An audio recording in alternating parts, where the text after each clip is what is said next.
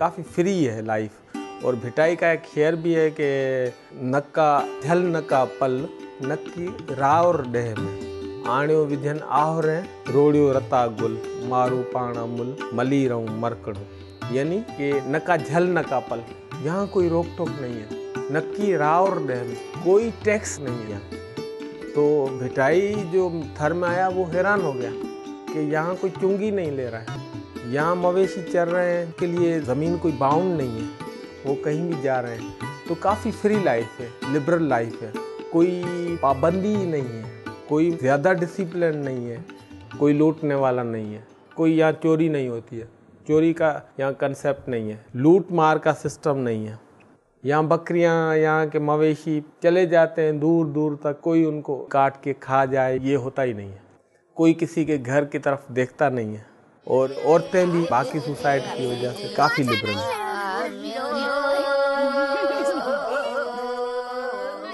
आप देखेंगे कोई औरत जो है दरख्त पे चढ़ी हुई है, वो वहाँ पत्ते ले रही है, लकड़ी ले रही है, वो अकेली अकेली चल रही है। बाकी सिंध में ये तो नहीं होता। मुश्किल होता है कि अकेली औरत जाए और मजदूरी करे। यहाँ तो काम पूरा औरत करती है। पानी औरत भरती है और दूर दूर कुएँ में। अब जैसे मारवी, बहुत खूबसूरत लड़की थी। वो कुएँ पे गई पानी भरने। कहानी ये है। होना तो ये चाहिए कि एक घर की नौजवान खूबसूरत लड़की अकेली कैसे जाए कुएँ पे? कुआँ गाँव से बाहर। तो काफ़ी लिबर्टी है मौजूद सोसाइटी में। कोई ज़्यादा दबाव नहीं है। लेकिन भूख बहुत है, गज़ा कम है और वसाइल बहुत कम है। लोगों में इनिशिएटिव कम है। लोग थोड़े पे खुश रहते हैं और डर डर के जीते हैं। और सब ह्यूमन लाइफ गुजारते हैं। अब ये किसी को रोमांटिक लगे तो उसकी अपनी वो है कि भाई बहुत ज़्यादा खा के लोग मरते हैं, बीमार होते हैं, या बहुत बिज़ी रह के लोग जो हैं वो स्ट्रेस में चले जाते हैं। यहाँ तो फुर्सत है, खुला आसमान है, तारे हैं, चाँद है, खुली हवा है, बहुत थोड़ा खाना है। कोई बर्डन नहीं है काम का, कोई डेडलाइन नहीं है, देहात में अखबार भी नहीं आता डेट का भी मालूम नहीं होता है। पंद्रह पंद्रह, बीस बीस दिन जेब में एक रुपया भी नहीं है, फिर भी गुजारा हो जाता है। घर में कुछ दाने पड़े हैं, लकड़ियाँ आ गई हैं, वो पके हैं, रोटी पक गई है, गुजारा हो गया है। यहाँ हिंदू धर्म की भी प्रैक्टिस कोई स्ट्रांग रही नहीं। सबकी पूजा एक सी, अपनी अपनी रीत। मस्जिद में जाए मौलवी और कोयल गाए गीत। अगर हम देखें तो कोई ज़्यादा बड़े मंदिर बड़े पंडित या कोई रिलीजन का कोई ज़्यादा ट्रेडिशन नज़र नहीं आता। अगर आप गाँव में चले जाएँ तो आपको कोई बड़ा मंदिर भी नहीं मिलेगा। ऐसी करनी कर चलो। हम हंसे जग रोए। कोई मस्जिद भी नहीं थी। ये मस्जिदें जो बनी हैं। ये भी जब से कोयत से डोनेशन आई, कतर से डोनेशन आई, या एन जी ओज मुख्तलिफ़ रिलीजियस बनी, उन्होंने मस्जिदें बनाना शुरू कर दी। नहीं तो कोई बड़ी सेलिब्रेशन रिलीजन की यहाँ होती नहीं थी। बहुत सादी लाइफ चलती थी। जैसे हम भीलों से पूछते हैं, भैया, आप अपने मुर्दों को गाड़ते हो या जलाते हो? वो कहते हैं, कभी जला लेते हैं, कभी गाड़ लेते हैं। इतना लाइटली लेते हैं। या एक मज़ेदार बात यह है कि मशीनरी लोग यहाँ आते हैं, कादियानी और क्रिश्चियन नंगर पार्कर में जाते हैं। कोली लोगों को, भीलों को क्रिश्चियन करते हैं या कादियानी करते हैं। तो वो लाइटली हो जाते हैं। चलो मैं क्रिश्चियन हो जाता हूँ, मेरा नाम लिख लो। और एक दो साल के बाद वो कहते हैं, वो उसको छोड़ दिया, अभी फिर मैं वही भील हूँ। तो वो मज़हब को भी ज़्यादा सीरियसली लेते ही नहीं है, बहुत लाइटली लेते हैं। कोई उन्हें पैसा दे दे कि भाई कादियानी हो जाओ। चलो, हो जाता हूँ कादियानी, क्या है इसमें? थर के तकरीबन सब गाँव में पाँच बजे से औरतें उठना शुरू करती हैं। माल मवेशी जो होते हैं, उसका दूध निकालना होता है।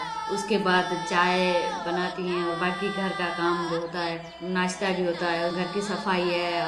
उसके बाद वो मर्द वगैरह जो होते हैं, वो अपने कामों पे चले जाते हैं। वो पानी लेने के लिए जाती है। सबसे मुश्किल जो काम है, वो पानी लाना है, जो कि थर के किसी भी गाँव में घर के करीब पानी का कुआँ नहीं होता है।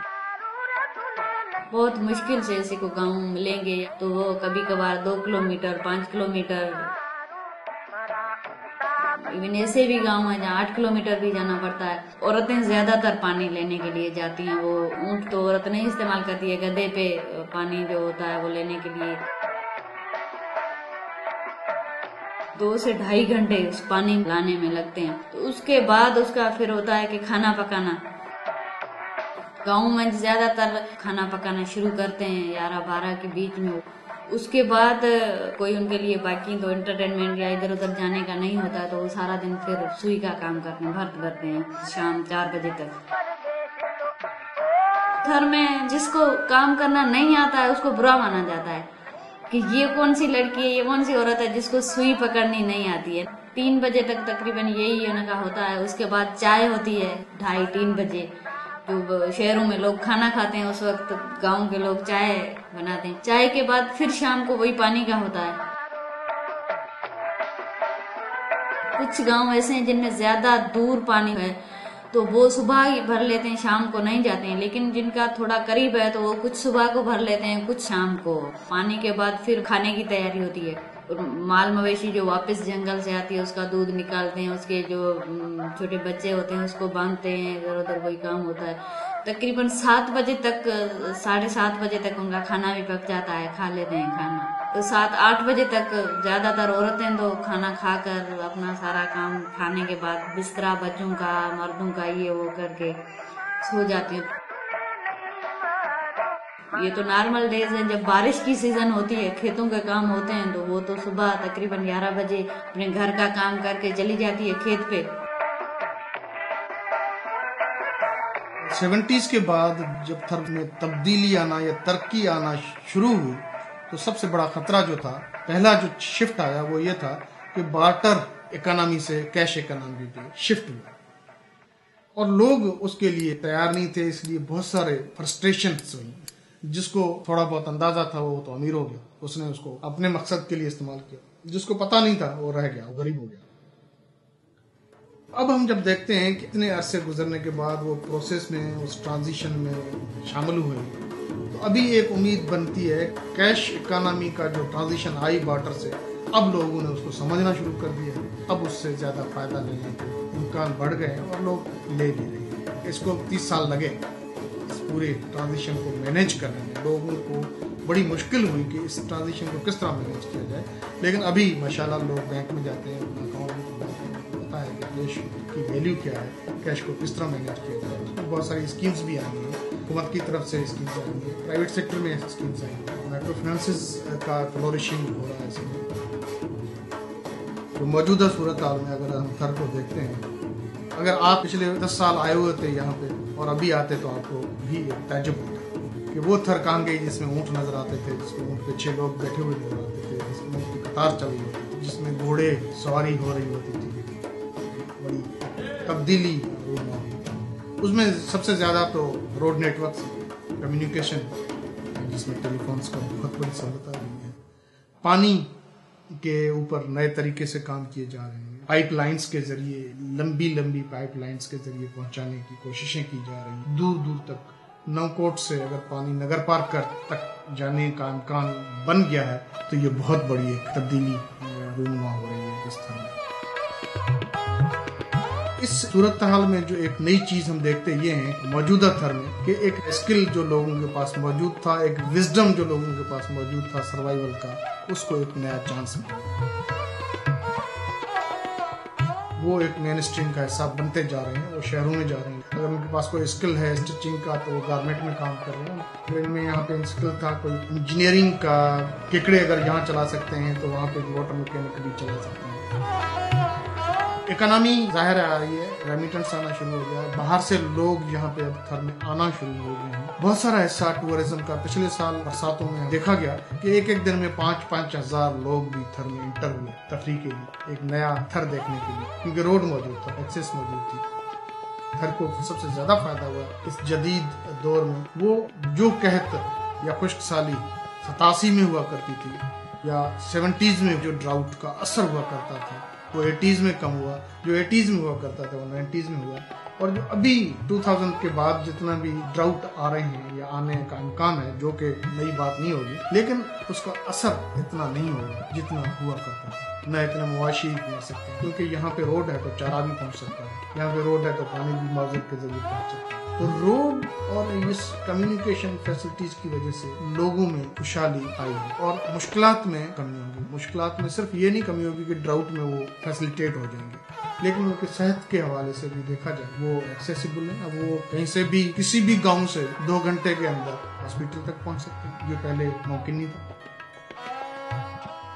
थर में पहली दफ़ा हमने ये भी देखा है कि प्राइवेट और पब्लिक प्राइवेट स्कूल स्कूल तो एजुकेशन में भी एक उम्मीद की किरण नज़र आ रही है कि पब्लिक सेक्टर से हटके भी एक एजुकेशन की तरफ़ तवज्जो जा रहा है। हाँ, उसकी वजह से ज़ाहिर है ये जेंडर बैलेंस का भी आंसर सामने आएगा। पहले तो सिर्फ़ मर्द मोबाइल होके चला जाता था शहर में हॉस्टल में रह जाता था लड़का लेकिन अभी चांसेस ये भी हैं कि खातन गाँव में भी उनको एक बुनियादी तालीम मिलने का इम्कान बढ़ गया